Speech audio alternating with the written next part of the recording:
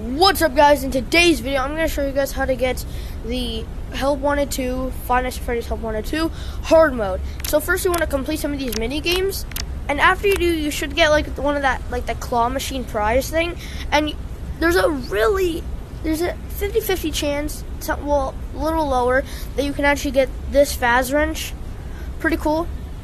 After you get that Faz wrench, Mystic Hippo, she'll be talking over there, don't ignore her um, charge this thing, the conduit, whatever it is.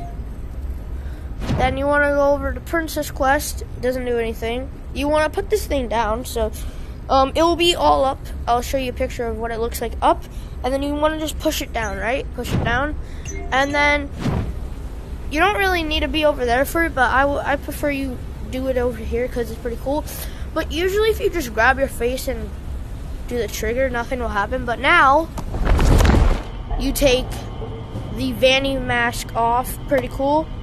Uh, I don't know where my other controller is. It's kind of invisible. Oh, here it is. Okay. Yep, candy credits over here. Candy here.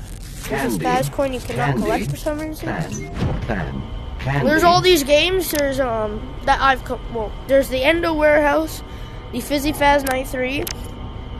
Um, Search Location I don't think has anything right now. The ticket booth, there's the carousel. I'm guessing that's with Eclipse, probably. Arts and Crafts, maybe. That's probably with Eclipse.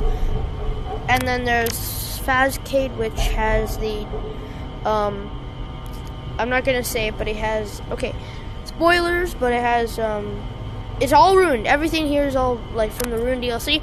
So, yep, that's how you get the hard mode. Um, thank you for watching. Peace.